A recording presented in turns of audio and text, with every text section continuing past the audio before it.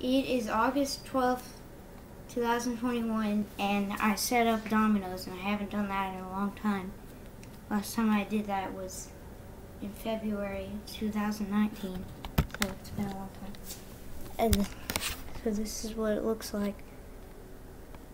And I can't remember how much that is, but I used all of it.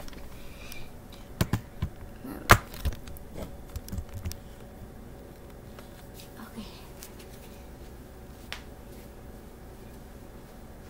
Three, two, one.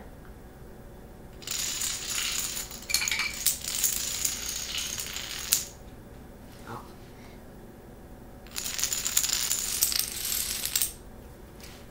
Okay, and that's did.